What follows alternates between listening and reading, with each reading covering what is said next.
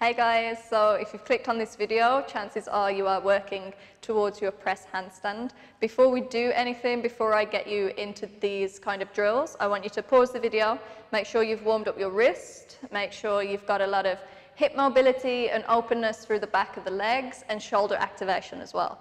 Once you've done that, come back to me. So the way that I'm going to do this video is we're going to split it into three parts. First part is going to be our activation. So we're going to get just a little bit warmer in our core and in our shoulders. Second part will be to practice the actual skill. So you're not going to get good at a press handstand if you're doing all the conditioning and you don't um, practice the press. And number three will be our conditioning side, which is going to be a little mini workout. It will be four, reps, uh, four exercises. We're going to do two rounds. If you want to do three rounds, hats off to you, but I've already just filmed a video, so I'm only going to do one. So when we are ready, we're going to start off with part one, which is activation. So we're going to come down onto our mats or onto our floor, it doesn't really matter. You're going to bring the feet just a little bit wider than mat distance. You're going to bring the hands towards the floor. You can soften the knees as much as you want.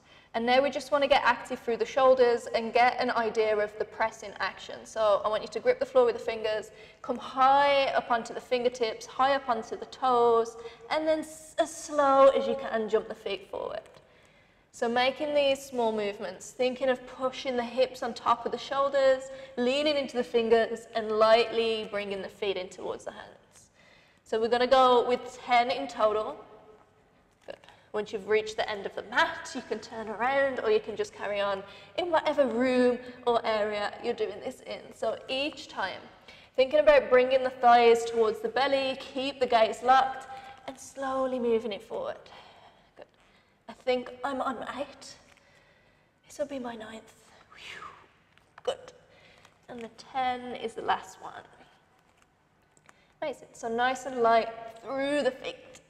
Beautiful come to stand, take a breath. The next thing we're going to do is just warm up our compression strength. So you're going to lie down upon your back.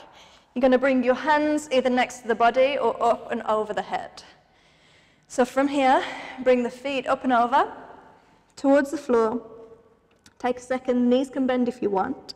And now I want you to energetically pull your thighs in towards your belly. So create that kind of lock, that kind of tension through the core. This is where I'm going to speak a little bit weird because it is a workout.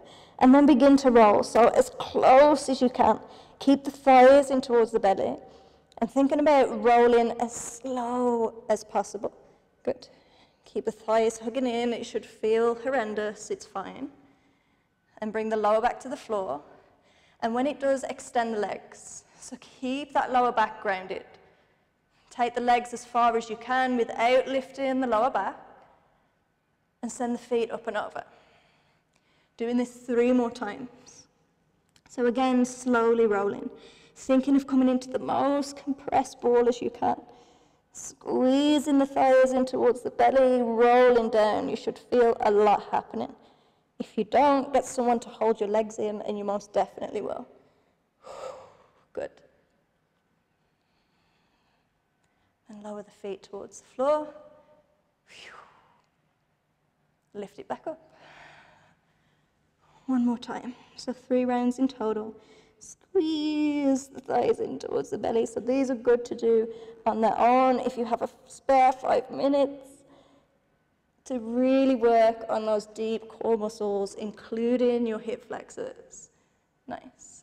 Extend the legs, hold it for a breath, and release.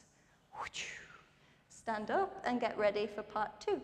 So part two of this video will be actually practicing the skill. So now this is where we take time. We're not fatigued, our body's nice and warm, it's active.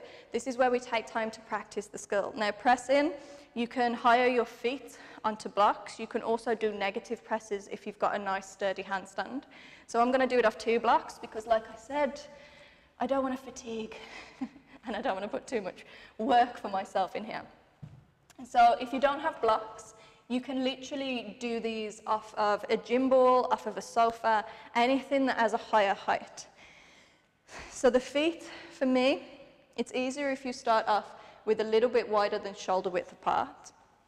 You're going to lift the feet up And again, if you have tight hamstrings, you can bend the knees, or you can actually come into um, tucked presses, which I'll demo in a second. So now, hands come on the floor, feet are lifted. You're going to grip the floor, set your gaze, so set the gaze somewhere in between the thumb and the wrist line. Now take the hips up so high, think about leaning forward, push through the fingers, lift it up. Squeeze at the top if you can, doesn't matter what it looks like, and then slowly bring it down. Good. So that is your press. Pause the video here. Start practicing maybe five to 10 times, depending on how you feel. If you aren't that flexible in the hamstrings and in the legs, I'll show you the tucked variation now. So legs can still be elevated. We're still starting off the same, but this time the feet are together and the knees are already tucked. So this, we're getting the hamstrings out of the way so you can still practice the press and the compression motion. So lifting the knees up, you can stay in the bend, you can walk as forward as much as you can. Lean forward, think about bringing the knees in towards you and lift. Oh, God, that one's a struggle for me. There we go. Raise it up. Ah. Again, pause the video, practice the skill five to 10 times depending on your energy, and then come back to me for part three. So part three of our video is the actual conditioning section. It's four exercises. We're going to go for two rounds, completing the four with a minute in between of rest. So we're going to start off with our pike push-ups. This will create strength in the shoulders and make those pushing muscles a little bit more stronger.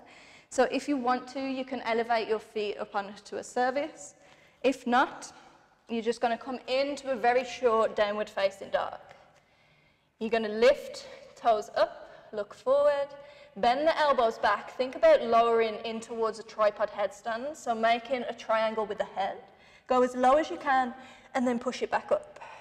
We go in for 10. Lower it down. Lift it up. Lower. Lift for 8. Lower. Push it back up. 7. Lower. Push six. We've got this. Keep the core tight for five, for four,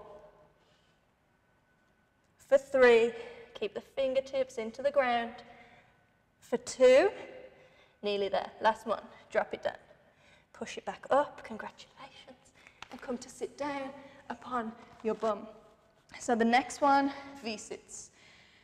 You know what a V-sit is if you've been watching my videos, 10 of those. So the knees can be bent, again, if you don't have the flexibility or the strength, or if you can, go for straight legs. So coming down into a hollow body, lift it up, hands to the feet, lower, lift for nine, eight, seven, six, all the time, thighs towards the belly, five, four, three, two, and one, drop it down, good. If you have your blocks near you, you can bring them and come to sit down onto your knees. So the next one will be Lolasana lifts.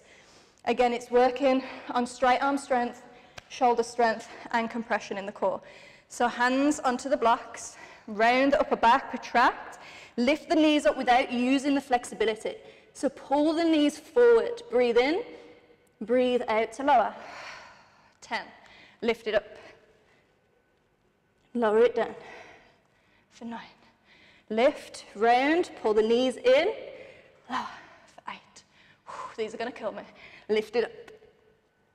Lower it down for 7. Lift, squeeze everything forward. Lower for 6. Halfway there. Push the floor away. Breathe. Lower for 5. Whew.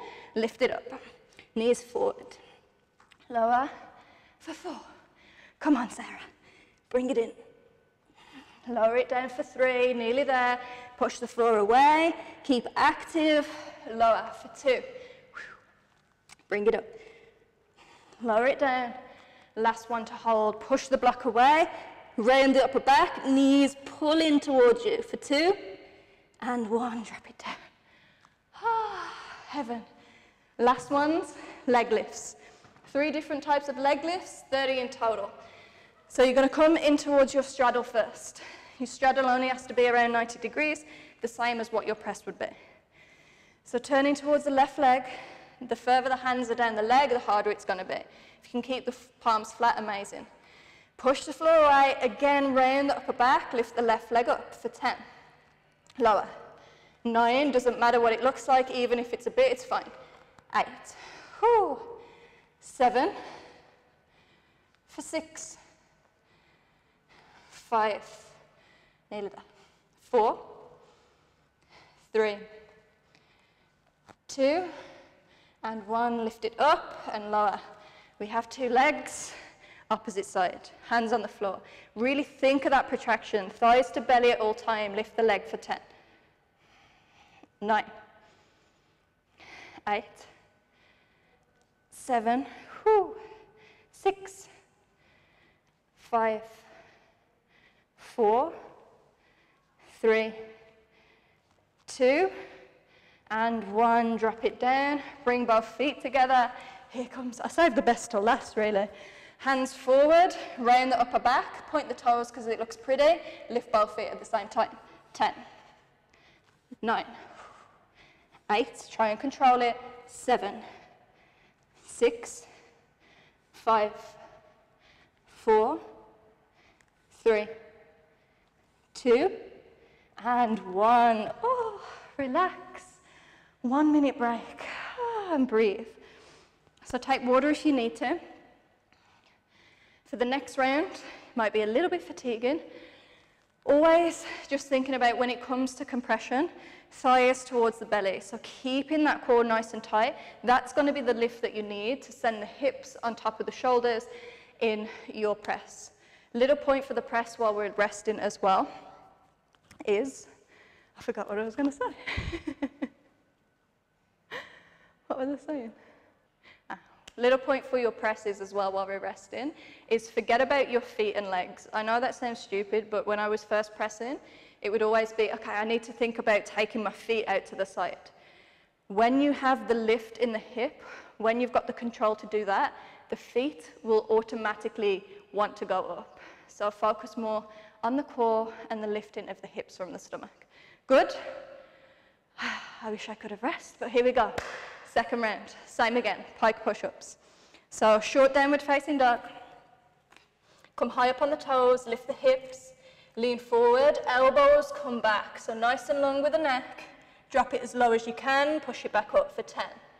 Come forward, core tight. Nine, lower, eight, lower, seven, come on, six, for five, four, three, two, and one. Awesome. Drop it down, V-sit straight away. Lower down, hollow body. Lift it up for 10, 9, 8, 7, 6, five, four, three, two, and one. Breathe. Grab your blocks. Second round's much more fun because I don't have to talk you that much through it. Lolasana lifts. Oh my God, these killed me the first time. Round the upper back, palms into the block.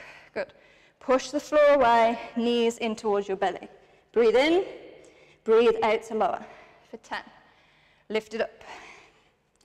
Lower for nine. Lift them round. Eight. Bring it up. Seven. Keep the elbows locked. For six. Lift it up. Five. We got this. Lift, pull the toes towards you for four. Lift it up. For three for two. Good. Now the one of death, lift it up, hold, knees in towards you as if you want to pull the feet forward for three, two, and one, drop it down. Give the shoulders a bit of a shake, bit of a breath, and then coming on to our lovely leg lifts. So straddle position first. Starting with the left, hands around that left leg. Again, round. Think of the action, pulling in from the thigh. Lift for 10, 9, 8, 7, 6, 5, 4, 3, 2, and 1. Good, shake it. Out. Right hand side. Hands go down. Right foot up. 10, 9, 8, 7, 6, 5, 4, 3, 2, and 1. Good. Both feet together. Nearly there. Pike position. Point the toes. Hands go down. Last 10. 10, 9, whew, 8, 7, 6, 5, 4, 3, 2, and 1. Ah, voila. Enough. Okay. So if you want to do three rounds, be my guest. I am going to leave you now, but enjoy. Leave me comments. Let me know how much you're sweating, if it's as much as me.